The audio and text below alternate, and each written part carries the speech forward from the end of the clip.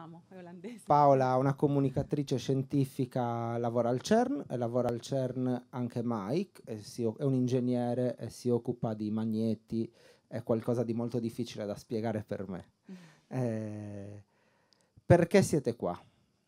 Perché qualche anno fa, durante un viaggio in barca a vela, era un, una sorta di laboratorio scientifico per, per adolescenti.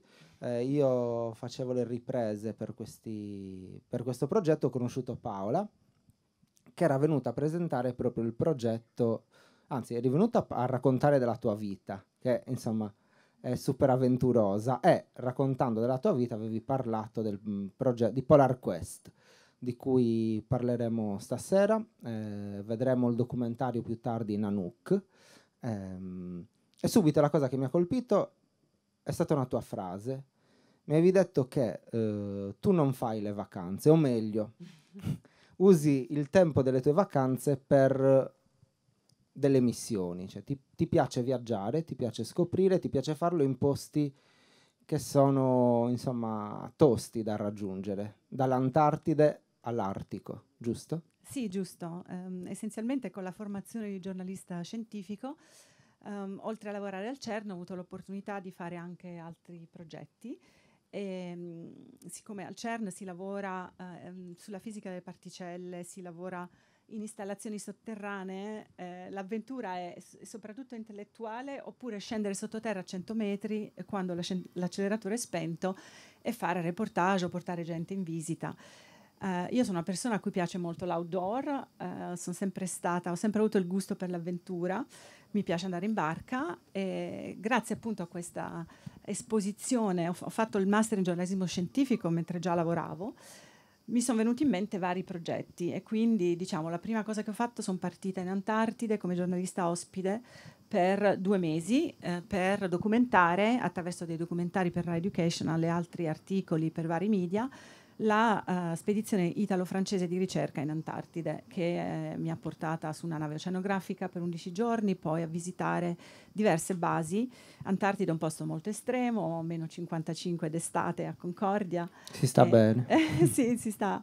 Uh, diciamo è come andare nello spazio, uh, è, è, quasi come andare nello spazio, bisogna veramente avere una formazione e tutta una serie di, di attrezzature, quindi ci si può andare solo con delle spedizioni. E da lì mi è venuto il gusto per le spedizioni. Poi ho incontrato lui e abbiamo deciso di fare insieme queste spedizioni e siccome lavoriamo entrambi full time, però abbiamo la fortuna di avere la possibilità di prendere dei congedi non pagati, circa ogni due anni abbiamo fatto spedizioni di questo tipo, portandoci dietro anche i nostri figli. Siamo andati, per esempio, alle Galapagos sulle tracce di Charles Darwin, siamo andati a vedere e a documentare telescopi eh, nel deserto dell'Atacama a 5100 metri di quota.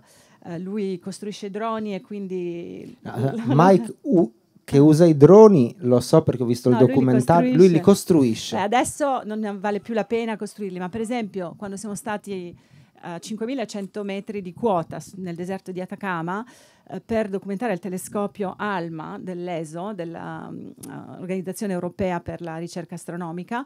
Lì uh, il drone ha dovuto costruirlo, ha dovuto fare le ali particolarmente leggere perché a 5100 c'è pochissima atmosfera e quindi la maggior parte dei droni sarebbero cascati. L'abbiamo testato in montagna uh, e poi ci è andata bene, abbiamo fatto delle immagini stupende di droni allora, da, chiedo subito a Mike, poi mi... sì.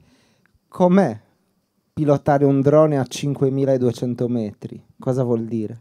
Can I answer in English, please? Yes, of course. I understand Italian, so I understand your questions, but I cannot speak it. Uh, the only problem at altitude is the density of the air. So you ju just need a bigger, more powerful drone or bigger engines and bigger propeller. So a normal drone, DJI drone, will not fly. will maybe fly to 4,000, 4,500 meters. So it's just a question of changing the design. And at the time when we did it, the drones were not so popular as now and not so good as now. Now I would probably take a standard drone, although at that altitude maybe would have to modify it a little bit to, to be able to fly there. But there's a whole development. In the beginning, we built our own drones, put the GoPro, and now the drones are so good that, yeah, there's no point anymore. Just bring a good drone. Traduco per tutti. Eh, dunque, la differenza di quota uh, fra l'utilizzare droni commerciali e droni custom è più o meno sui 4.000, quindi 5.100 bisogna fare dei droni che hanno più potenza.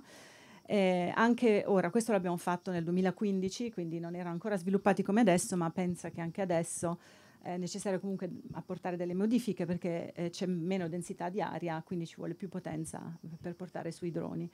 Eh, noi abbiamo iniziato molto presto, lui è ingegnere aeronautico di formazione, ha sempre avuto la passione per il volo vincolato, il volo telecomandato di piccoli aerei e alla fine ha cominciato a costruirsi questi, questi droni e poi seguendo me ci ha attaccato sopra le GoPro e abbiamo iniziato così. Eh, nostra, la nostra sala giochi, che in realtà era normalmente doveva essere destinata ai, ai figli, eh, era occupata da 8-9 droni di dimensioni da così eh, fino a quelli più piccoli. Adesso però li compriamo, insomma, usiamo quelli commerciali. Droni che appunto sono stati usati anche nel 2018 quando a bordo di una barca a vela sostenibile, poi ci spieghi cosa vuol dire una barca sostenibile, siete salpati per, diciamo, verso le isole Svalbard alla ricerca del dirigibile Italia. Non siete partiti solo per quello, ma avete unito tre ho, ho cercato di raggiungere di tre o più obiettivi, eh, però partiamo da, dalla partenza. Una barca sostenibile, cosa significa? Allora, Nanook è una barca particolare eh, perché è stata costruita dal suo proprietario sulla base di, un, di una Integral 60 di cui hanno fatto solo lo scafo in, in alluminio nei cantieri navali della Rochelle e poi per il resto l'ha creata lui con diverse caratteristiche speciali. Uh, lo skipper Peter Gallinelli, uh, che è un nostro amico abbiamo conosciuto in questa occasione, io cercavo una barca appunto per andare a fare un progetto in Artico a vela. E questa barca è speciale perché è costruita in particolare con l'architettura passiva, quindi vuol dire che non, anche andando a temperature come è andato lui in Groenlandia a meno 47 d'inverno, non c'è bisogno di riscaldare all'interno perché il cockpit è, costruito con materiali isolanti senza nessuna strana tecnologia, semplicemente isolando il cockpit molto bene, utilizzando per i vetri il triplo vetro eh, studiata in modo tale da eh, non dissipare il calore e sfruttare al massimo il calore di chi sta dentro. Questa è la prima caratteristica che la rende speciale. Poi, di, dopodiché, bisogna trovare tutti quanti i possibili artifici per renderla eh, più sostenibile possibile. Sostenibile al 100% non è possibile, soprattutto in Artico, perché intanto ti serve il motore, perché hai un tempo limitato per la spedizione, per cui eh, quando non c'è vento uh, devi avere il motore. Il motore ti serve anche per uscire dal ghiaccio quando ti imprigioni nel ghiaccio, non è, un, non è una rompighiaccio, una barca a vela, quindi comunque è un viaggio avventuroso, devi pianificare benissimo la rotta, pianificare le rotte oltre gli 80 è una cosa eh, quasi impossibile perché non esistono carte nautiche oltre gli 80 gradi, non esistono carte nautiche digitali e le carte nautiche di carta s- uh, hanno delle informazioni, addirittura alcune risalgono alle spedizioni, prime spedizioni storiche del 1600, quindi sono misure che vanno prese e poi non ci sono misure ovunque perché è un posto dove navigano pochissime persone.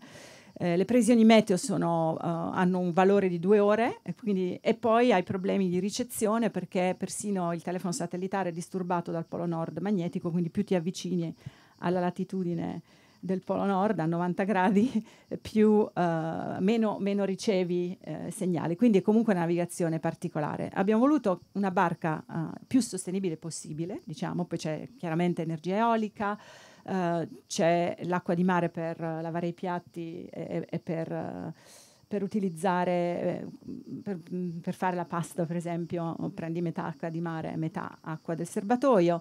Uh, non c'è la doccia, non c'è il riscaldamento, quindi ridurre lo spreco, cioè, sono soluzioni che possiamo applicare tutti noi alla vita quotidiana e abbiamo voluto appunto che questa barca fosse un messaggero perché andare in Artico senza essere sostenibili, anche per scopi nobili come fare ricerca, è una contraddizione. L'Artico oggi eh, è il centro della Terra perché è il simbolo di quello che stiamo facendo al nostro pianeta. È il simbolo uh, di un... L'Artico è, è, ghiaccio, è mare ghiacciato e quindi eh, con il riscaldamento globale la prova più, più diciamo, evidente del nostro riscaldamento si scioglie sempre di più. Uno potrebbe dire, beh, se si scioglie l'Artico cambiamo la geopolitica, navighiamo attraverso l'Artico, le rotte sono accorciate, le rotte polari. In realtà l'Artico è, eh, così come l'Antartide, i due poli sono um, due zone che eh, tengono in equilibrio il nostro pianeta.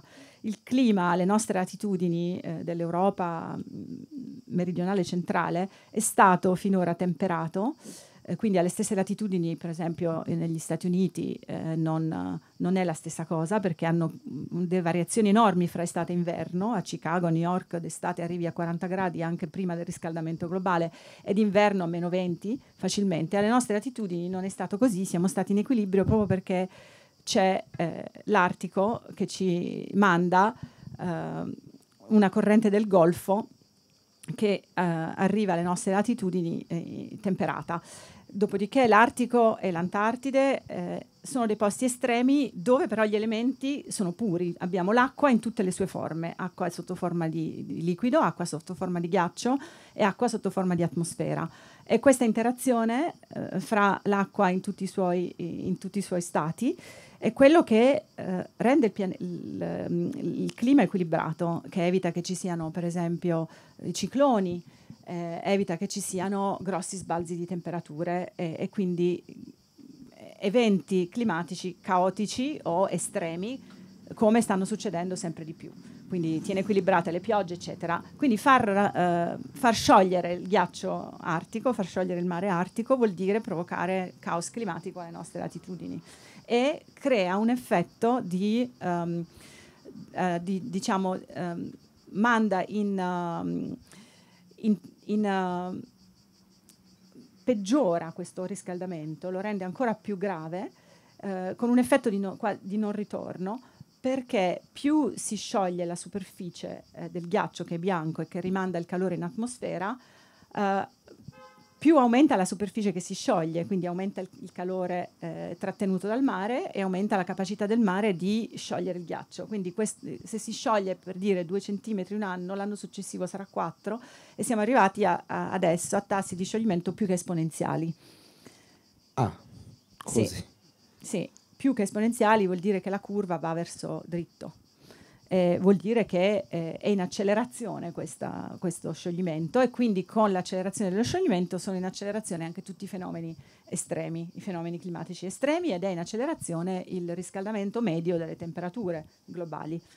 Io mi ricordo che eh, sempre durante mh, mm, la conferenza che tu avevi tenuto davanti ai ragazzi, dicesti una cosa che mi colpì abbastanza, perché devo andare a memoria, però poi correggimi se sono inesatto, eh, che sul riscaldamento globale, oggi come oggi, come mh, persone comuni, forse non possiamo fare tantissimo, comunque i tempi sono lunghi per rimediare, mentre invece possiamo fare tanto come persone singole, ma anche come stati, per un'altra questione che riguarda gli oceani e che poi vedremo nel documentario, perché la cosa che a me ha colpito molto del, del documentario è scoprire che anche a quelle latitudini si trovano le microplastiche. E non solo micro, anche le macro, eh. anzi eh. è il fenomeno più evidente. Sì, uno degli obiettivi della spedizione, appunto questa spedizione che abbiamo organizzato con Anouk, era eh, una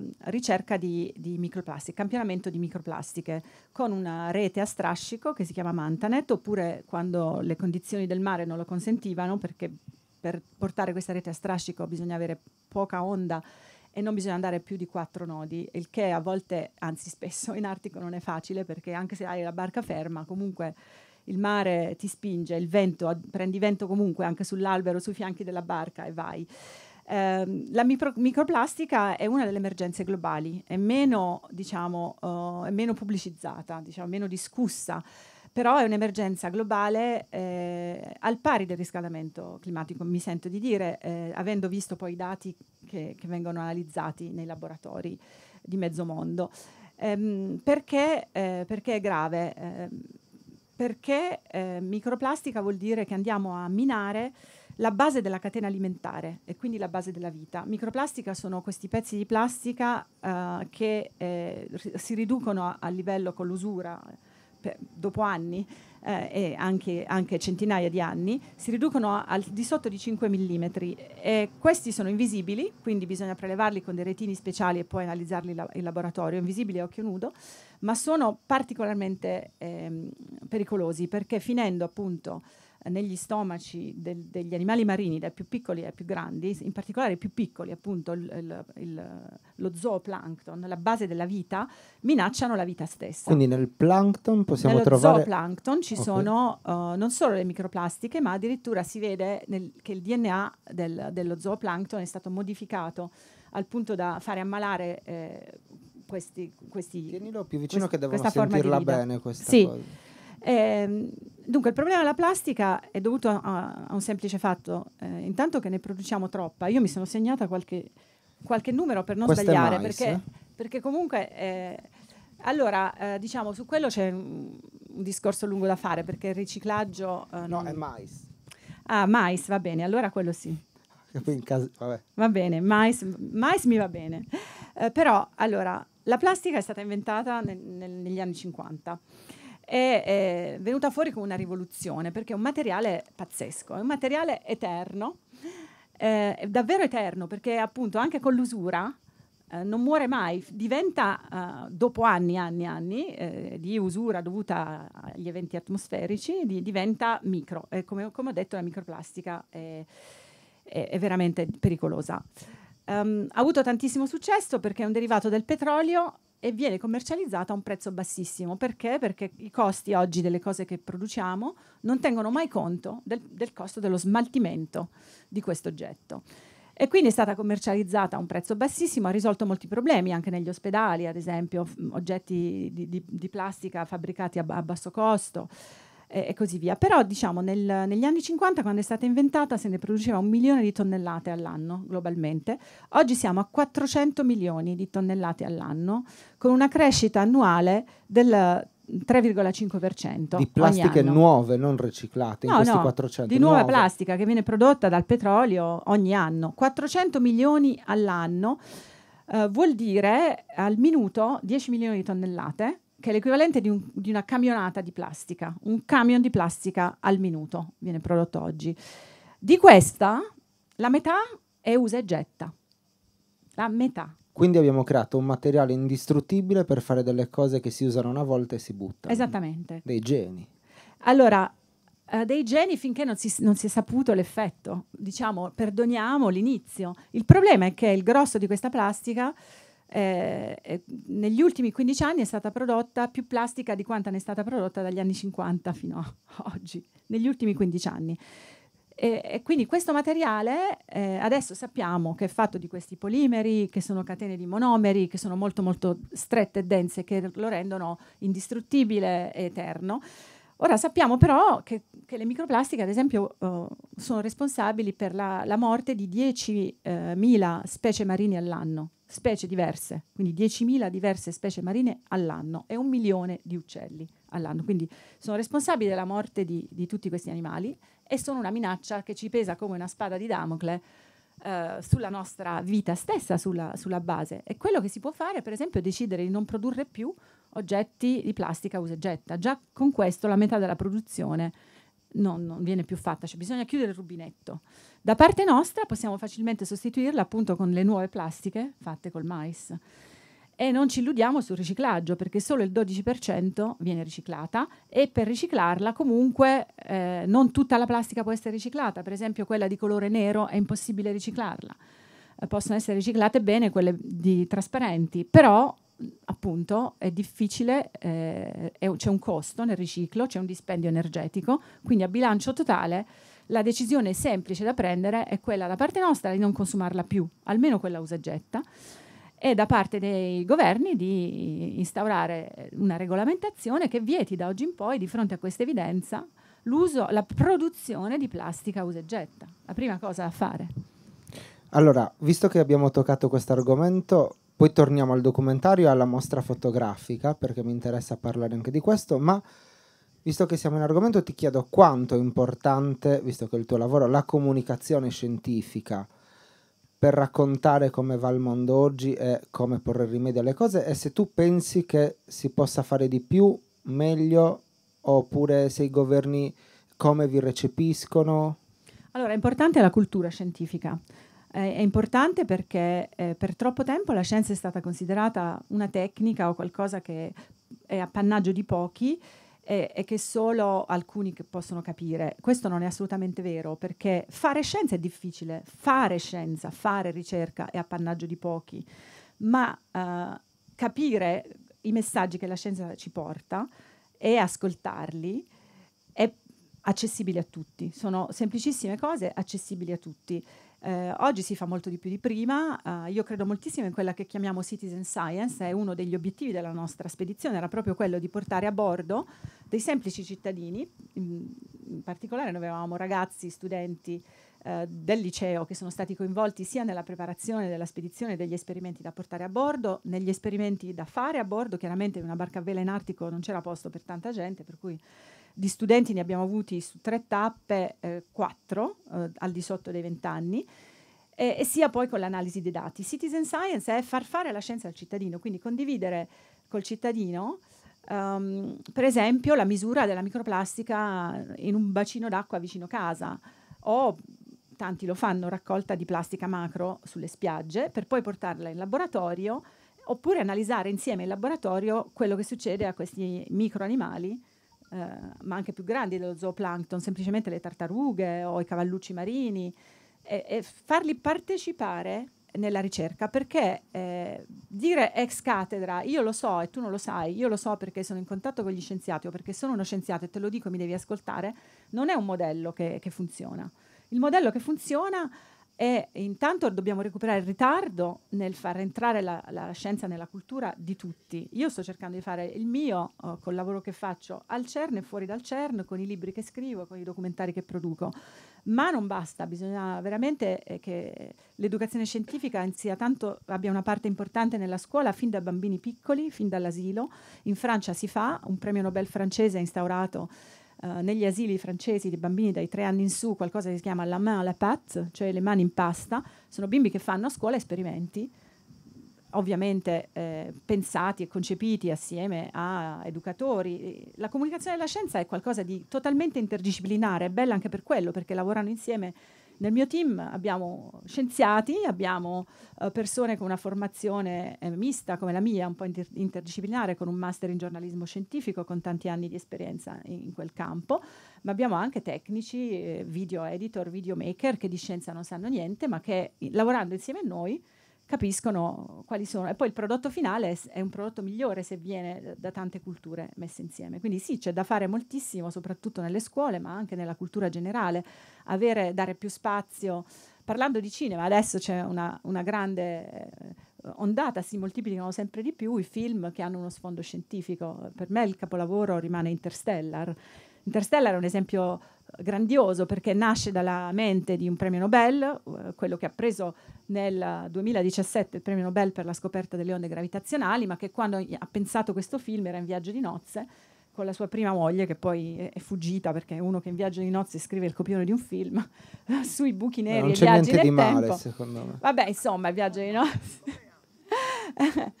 Eh, e, e, lui eh, lavora a Pasadena, uh, nell'Università di California, e quindi la, la, fidanzata che ha conosciuto dopo il matrimonio fallito era una producer di Hollywood e aveva questa fissazione, cioè questo manoscritto, voglio farne un film. Alla fine i fratelli Nolan Uh, lo hanno accolto con piacere e lui ha detto va bene allora faccio il film con voi però a una condizione che tutta la scienza di cui si parla e si descrive del film deve essere perlomeno concepibile dal punto di vista matematico anche qua, se non provata. Qua potremmo innescare una discussione accesa perché vabbè, è uno dei film che a me non mi piace di Nolan. Però ah, poi, che poi ne parli- piace? Sì, perché la forza dell'amore per uscire dal buco nero No, non è la forza dell'amore, è il Tesseract che potrei ti fa uscire dal buco potrei nero. cambiare idea. No, no, è la scienza che ti fa uscire dal buco nero. Quel film è pervaso di scienza. Anche la fine? Anche la fine, assolutamente Ok, sì. potresti farmi cambiare idea allora. Sì, poi sì, poi no. ne parliamo bene. Tu l'hai letto così perché non hai capito il Tesseract, ma il Tesseract per capirlo bisogna capire le formule lunghe 17 pagine, però eh, Eh, diciamo no, ma anche fosse una quello pagina- che il Tesseract fa è che ti fa ehm, viaggiare nel futuro. E quindi dal punto di vista matematico è possibile. Quindi dal punto di vista matematico si può viaggiare nel Sì. tempo. Avanti e indietro. Avanti e indietro basta la relatività einsteiniana per viaggiare Così. indietro. Sì. Un po' di relatività. Sì. Avanti ci vuole Tesseract, ci vuole buco nero, ci vuole una spa- speciale condizione di buco nero che non ti spaghettifichi, insomma, sono tante condizioni che messe insieme ti fanno girare la testa, però eh, è speculativamente possibile e Nolan hanno, sono stati a, al gioco. Bene, bene. Gli hanno sottoposto okay. ogni scena, sai quante ne ha tagliate? C'è un, proprio un libro che si chiama La scienza di Interstellar in cui descrive anche tutte le scene che non ha voluto accettare. So, sono una mm. persona che ama cambiare idea, quindi insomma i miei, i miei amici mi, mi, perdoneranno. Gli scienziati per... cambiano ogni giorno idea perché eh, ogni giorno aumentano la loro conoscenza e quindi no, non neghi quello che eh, già si sa, però uh, sai qualcosa in più. Ad esempio le leggi di Newton sono sempre valide perché le utilizziamo per mandare eh, i satelliti nello spazio per lanciare un razzo. Si usa le, semplicemente la legge del moto di Newton. Meccanica classica. Però la meccanica classica non ti spiega eh, tantissime cose, non ti spiega il moto dei pianeti, non ti spiega ehm, il fatto che la luce che ci arriva dal Sole, ehm, quel, quello che vediamo del Sole è, è vecchio di otto minuti, non ti spiega tantissime cose.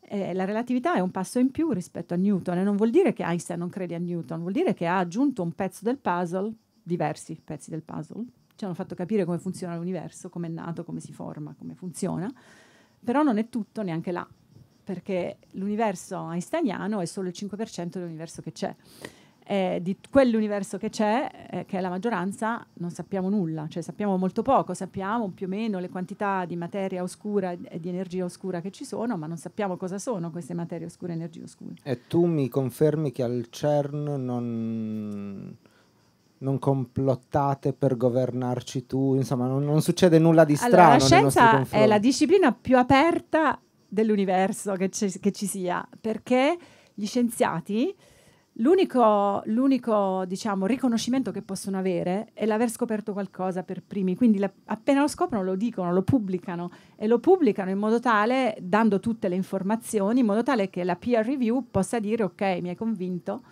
quello che hai pubblicato è un vero risultato scientifico, quindi te lo pubblico su Nature, ti do il premio Nobel. Eh, la scienza è open anche perché è, una, è uno sforzo collettivo e allora più cervelli ci sono, meglio si capiscono le cose. Al CERN collaborano pacificamente persone di tutto il mondo, anche persone di paesi che sono in guerra fra di loro, anche ucraini e russi. E infatti mi ricordo che quando ci siamo sentiti a, era a febbraio, mi pare era appena scoppiata la guerra e tu mi dicevi sono incasinata perché qua dobbiamo capire... Sì, no, perché avevamo pressione dai governi per mandare via i 900 russi che lavorano fissi al CERN e, e quindi c'erano paesi come la Germania che spingevano per mandarli via subito. E nel nostro caso eh, il CERN è nato nel 1954 proprio per evitare la fuga di cervelli verso gli Stati Uniti, perché la scienza che si è fatta eh, in quegli anni aveva bisogno di grossi strumenti che solo tanti stati insieme potevano costruire e permettersi, in un unico posto.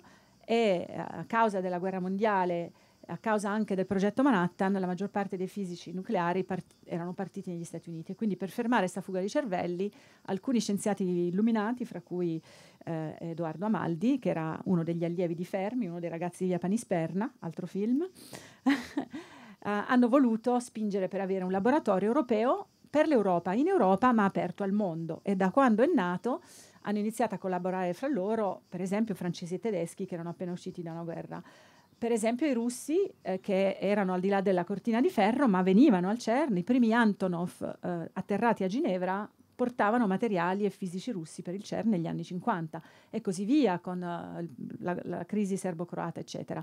Questa guerra qua è un po' diversa perché ci sono state eh, sanzioni e perché il CERN è un laboratorio pubblico finanziato da governi, è un laboratorio intergovernativo la governance è fatta da delegati eh, dei, dei, membri del governo e la Germania pesa molto perché contribuisce eh, in base al PIL, si contribuisce al budget del laboratorio. La Germania, sapevamo dai delegati, che spingeva per mandare via i russi. Quindi col Council di marzo siamo riusciti a, no, a non mandare via nessuno e a, a stabilire come sanzione unica, perché altrimenti ci avrebbero votato contro, di non firmare ulteriori eh, accordi di collaborazione con la Russia finché la guerra non sarebbe finita. Al Council di giugno, oltre alla Germania, avevamo eh, addosso la Spagna, la, la, Repubblica Ceca e tutti gli stati eh, baltici, quindi Letto- le- Latvia, ehm, tu- tutti gli stati del- del- del- dell'area baltica. Lì ce la siamo cavata grazie al governo italiano che ha fatto un lavoro enorme. Eh, la prima risoluzione di mandarli via tutti non è passata per un voto.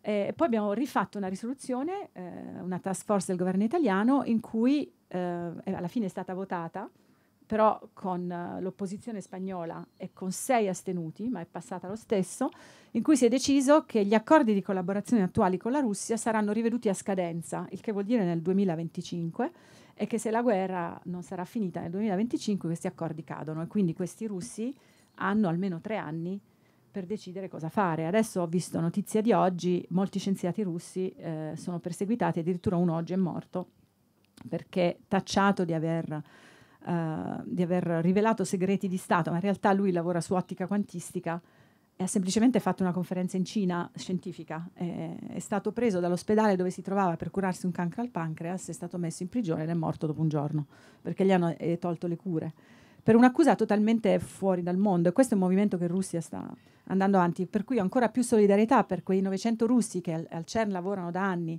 e che non solo sono vitali per molti esperimenti a noi e la cui partenza vorrebbe dire una perdita di 50 milioni di euro più o meno di, in, in, in, soldoni, diciamo, ma chiudere vari esperimenti, ma soprattutto per loro perché hanno firmato un manifesto pacifista e se vanno via gli può capitare quello che sta capitando in questi giorni a, a, a, vari scienziati. Perché insomma ricordiamolo che la scienza è pacifica. La scienza è pacifica, è un esempio di pace, dovrebbe eh, oggi dare l'esempio, appunto ti dicevo al CERN lavorano per esempio palestiniani e israeliani insieme da sempre. Abbiamo costruito un sincrotrone in Giordania proprio per uh, cercare di, avere, di, di fare science diplomacy, oltre che dare uno strumento utile agli scienziati del Medio Oriente, perché non sempre hanno questa mobilità. Eh, I sincrotroni sono dei fantastici laboratori di scienza applicata, sono dei fantastici diciamo, microscopi, eh, grazie alla luce di sincrotrone che è dovuta agli, agli elettroni che perdi accelerando particelle in un, in un acceleratore circolare. Questa luce ti illumina eh, in particolare eh, oggetti delle dimensioni nano, eh, ad esempio cellule, ad esempio virus, e quindi ma anche fai eh, ricerca su scavi archeologici, su oggetti per capire da, da dove vengono, eh, per leggere geroglifici e così via. Quindi in Medio Oriente fa particolarmente senso avere uno strumento del genere. Questo strumento adesso esiste ed è utilizzato da palestine- palestinesi, eh, giordani, israeliani, greci, ciprioti. Tantissimi paesi dell'area Oriente-Medio Oriente in guerra utilizzano questi strumenti. Al CERN è lo stesso esperimento, ci sono gente di Taiwan e cinesi, e adesso ucraini e russi, loro dialogano eh, con la scienza, perché hanno capito che la diversità è fondamentale perché loro sono alle frontiere della scienza e della tecnologia, sono problemi pazzeschi che hanno da risolvere, come, come coniugare la meccanica quantistica e la relatività, sono problemi innanzitutto matematici enormi, poi quando vuoi fare un esperimento devi inventarti l'esperimento, devi inventarti lo strumento, inventarti i materiali, leghe per fare questo strumento. Pensate che l'HC fa collisioni in laboratorio che hanno al centro della collisione una temperatura 100.000 volte più alta di quella del Sole.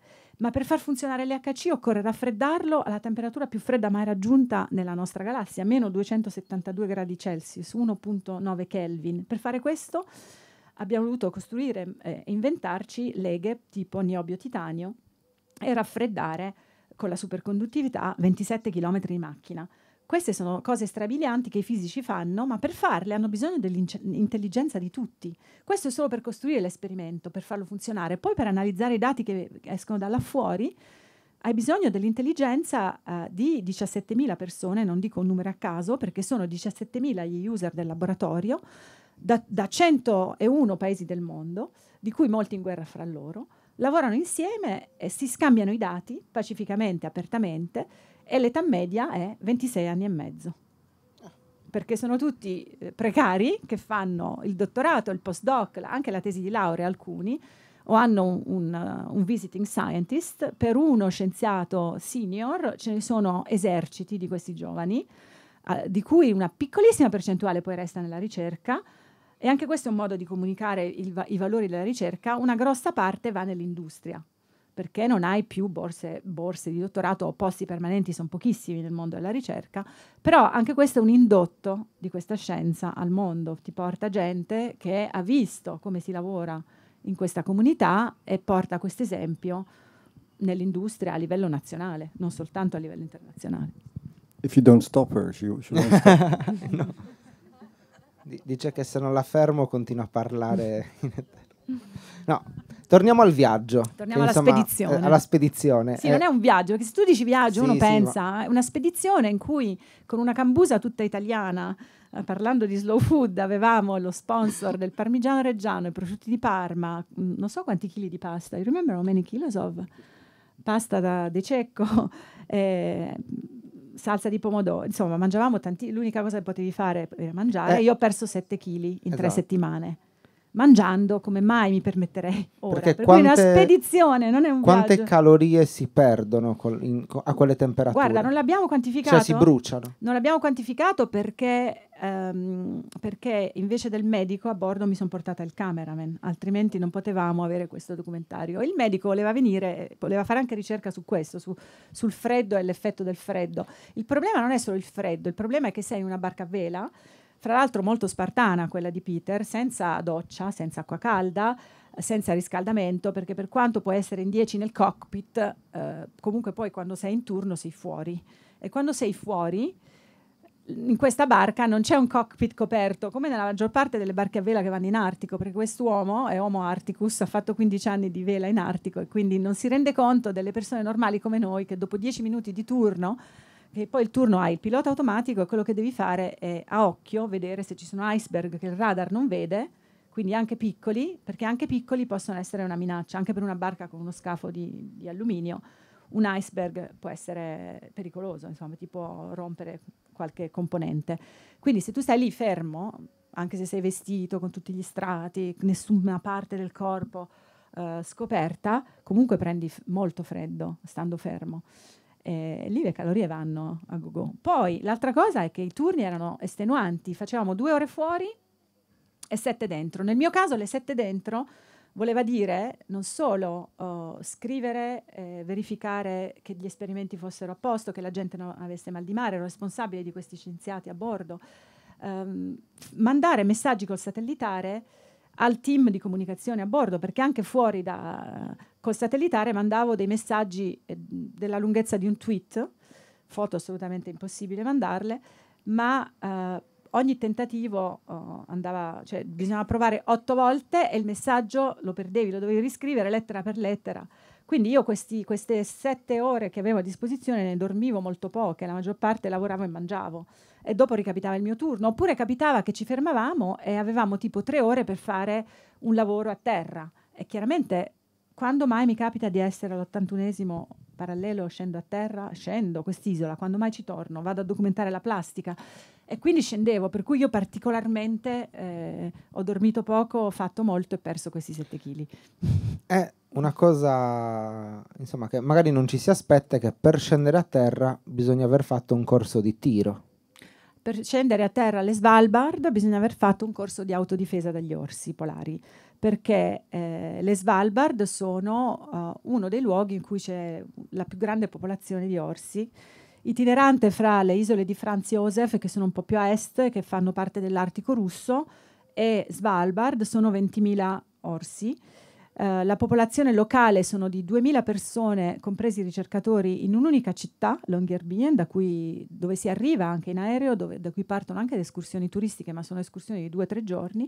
Oppure ci sono turisti che vanno in, in crociera, ma non arrivano mai oltre l'81esimo. Nessuno fa come abbiamo fatto noi. Arriva alla banchisa polare e poi circumnaviga anche dall'altro lato, approfittando del fatto che è tutto deglaciato eh, in maniera del tutto eccezionale. E allora quando vai fuori dall'abitato devi portare anche quelli che vivono in città, lì vedi mamme che portano i bimbi all'asilo col fucile. Perché l'orso può essere ovunque, si può mimetizzare ovunque e se ti attacca è un predatore assoluto eh, che è anche un orso piccolo, baby di un anno, facilmente ti stacca, ti stacca, la testa o ti stacca un braccio perché sono degli, dei predatori assoluti, degli animali eccezionali, però sono anche protetti. Dei cucciolotti. sì, anche i cucciolotti sembrano teneri ma in realtà vanno temuti e la prima cosa da fare è e temerli. Il corso consiste nella teoria in cui ti fanno vedere tutti gli incidenti perché ne avviene almeno in media un incidente all'anno, di cui uno ogni cinque mortale per, per l'uomo. Eh, quindi ti fanno vedere il massacro che, che può fare un orso e poi ti chiedono quando è pericoloso, quando è giovane, quando è vecchio, quando è mamma coi cuccioli, quando è, è, solo ed è adulto, è ben cresciuto, è ben nutrito, oppure quando è magro, quando è vecchio e malato, o quando è cucciolo da solo perso. La risposta è sempre. Questa è la teoria. La pratica è eh, la teoria ti dice anche che tu non, non, puoi sparare all'orso finché non ti attacca frontalmente a una distanza di 30 metri, il che vuol dire che hai due secondi e mezzo per colpirlo. E se lo colpisci male, sei si arrabbia di più. Sì, intanto se ti sta attaccando comunque sei spacciato, ma bisogna colpirlo o al cuore o su questo osso qua all'inizio, de- perché se lo colpisci in testa è capace che il proiettile ti rimbalza, perché hanno un- una scatola cranica di uno spessore allucinante, che sono veramente delle macchine terribili. Per cui la cosa è evitare questa situazione e per evitarla devi andare eh, con uh, dei flare, che sono queste lan- lanciarazzi che anche in barca a vela come dotazione di sicurezza, quando avvisti un orso che ti sta, si sta avvicinando verso di te, cioè se non sta facendo nulla non devi fare nulla, devi osservare e mh, mm, vedere cosa fa e se possibile abbandonare. Se sei a terra su un'isola e hai il tender, torni in barca, se sei sul tender non sbarchi. Uh, se eh, invece questo si avvicina, devi lanciare prima queste lanciarazzi, fratello orso, ma è capitato a un mio amico che vive alle Svalbard da 27 anni che l'orso raccoglieva i flares e se li mangiava.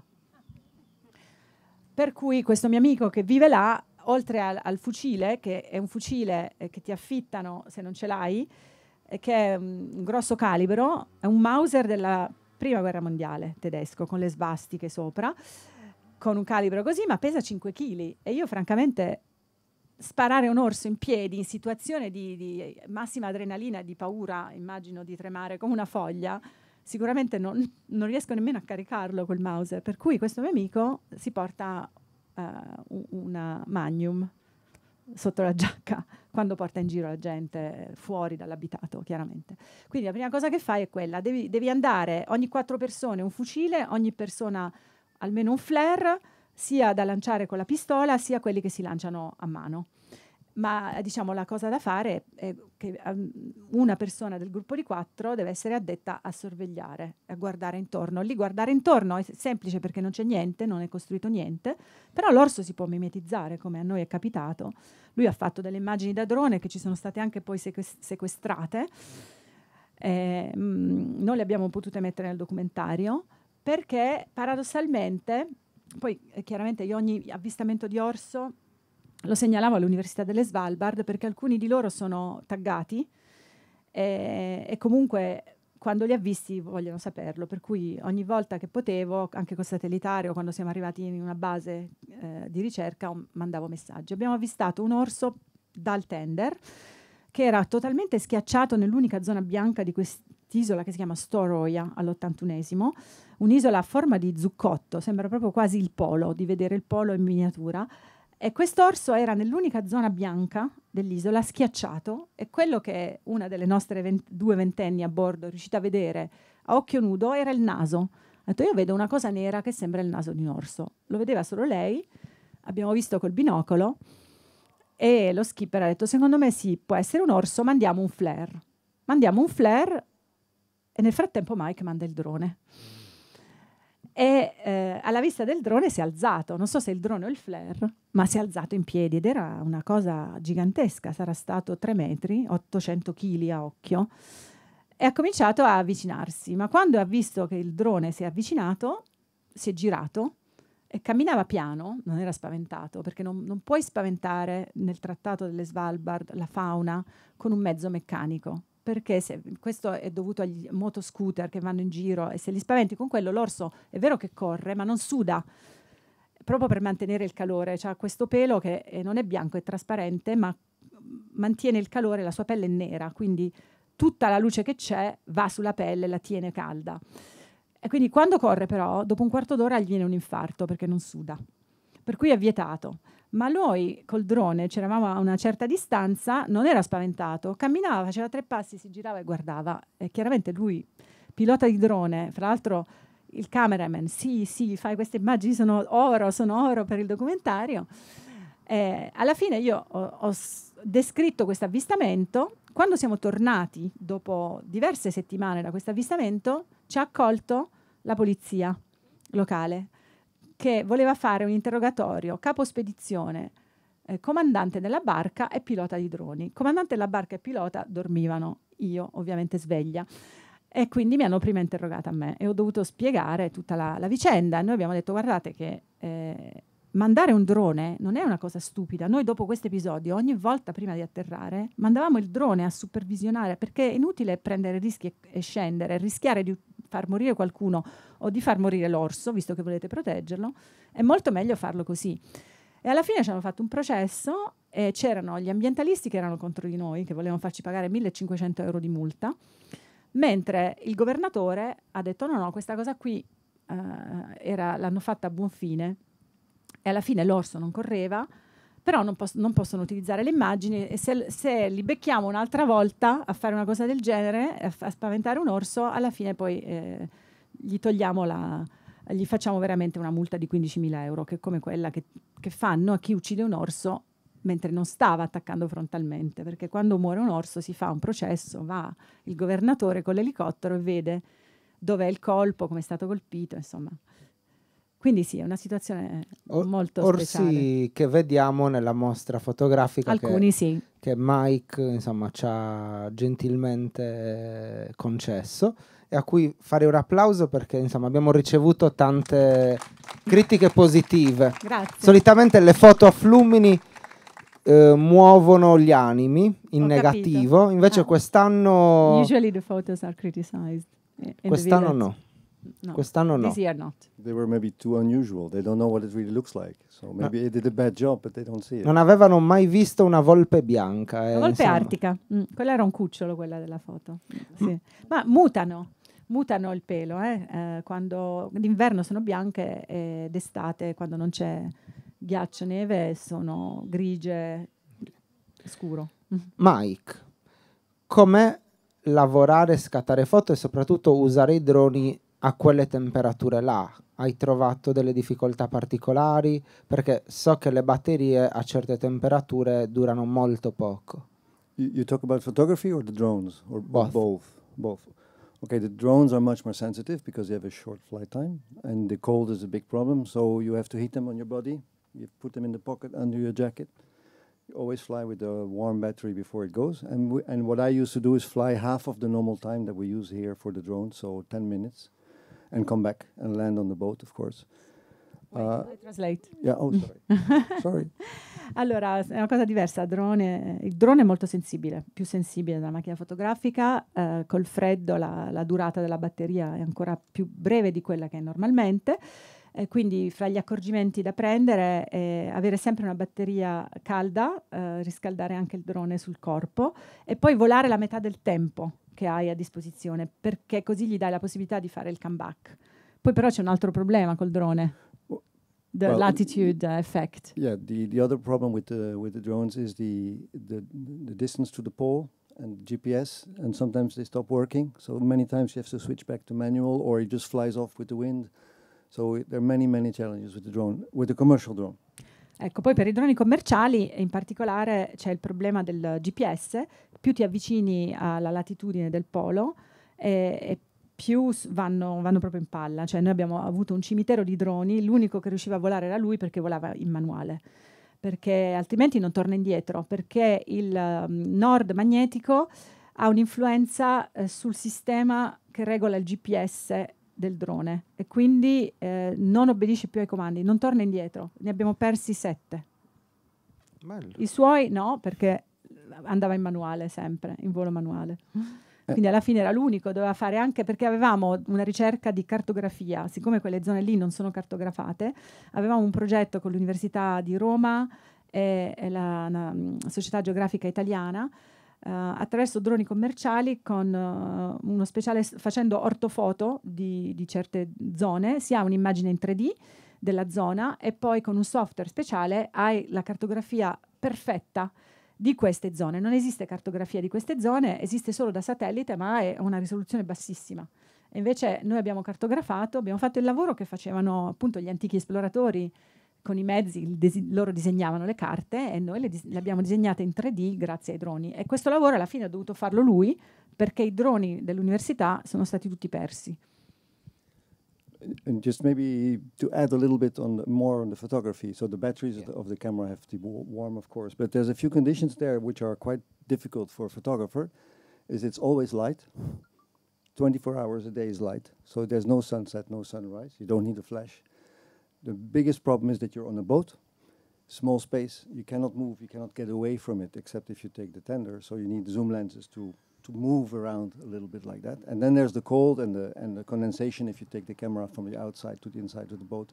Many many constraints like that. Sì, anche per la fotografia ci sono tantissime mh, limitazioni. Eh, una è la luce, eh, il sole non tramonta mai, quando si va a navigare alle Svalbard non si va, non si, si va in estate, eh, in estate il sole fa questo, tac tac, rimane sempre l'alto, non ci sono albe, non ci sono tramonti, non, è come se ci fosse sempre il flash.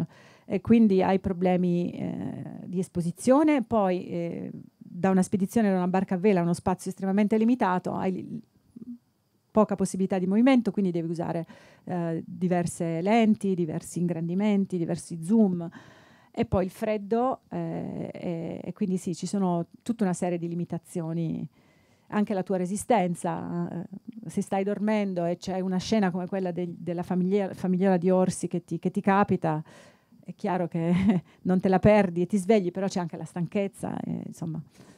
Eh, invece volevo sempre chiederti, Mike, se, eh, che, che effetto ti ha fatto vedere le foto nel grande formato e se ne hai rivalutato qualcuna. Magari qualcosa che yeah. non ti piaceva, invece ora... What was your um, what was impression to see the photos printed so large? And if you got surprised maybe by some of the photos that you uh, hadn't imagined they would be I've nice. seen some of the photos already because we had other expositions, so there was no surprise to see them bigger. But there were some new ones that you chose, which were kind of photos that I hadn't seen. How nice they were, how beautiful they were. For example, the one with the little or, uh, bear in the middle. Uh, that was a nice surprise for me to see it in big and, and, like that. Sometimes you don't see your own pictures anymore. I need always a few months away from my own photos to be able to to choose them. It's a, it's a difficult job. So it's nice that you also had a little bit of influence on that. Yeah. So some of them were quite a nice surprise, positive surprise, beautiful. Ah, vederle ingrandite non è la prima volta perché abbiamo avuto altre esposizioni. Um, quello che l'ha sorpreso di più è, è, la tua scelta, perché alcune delle foto, per esempio quella dell'orsetto cucciolo solitario sull'iceberg, Uh, lui non l'aveva vista fra le sue foto. E quando scegli le tue le proprie foto, intanto devi pa- far passare un po' di tempo prima di rivederle e poi comunque perdi delle cose, come ad esempio la scelta che hai fatto tu eh, ha avuto una, una, sorpresa positiva, insomma, nelle, nelle scelte che noi non avevamo visto. Bene, sono tante le cose che vedremo. Io non volevo anticipare troppo del documentario mm. perché comunque tra un'ora e mezzo lo staremo guardando. E sono tanti gli esperimenti che avete fatto e anche la parte storica è molto interessante, però quella non la vorrei proprio raccontare bene, adesso, anche perché poi avremo un piccolo confronto alla fine, okay. in modo tale che il pubblico possa fare qualche domanda. Ehm, ti volevo chiedere dal tuo punto di vista, quindi un'opinione in questo caso, mm-hmm. o se esistono dei dati scientifici che, che, ci puoi citare meglio, in che direzione stiamo navigando, come a livello ambientale ovviamente? Eh no, male, nel senso che uh, i dati scientifici ci sono, sono tanti, ma i tempi di reazione sono lentissimi.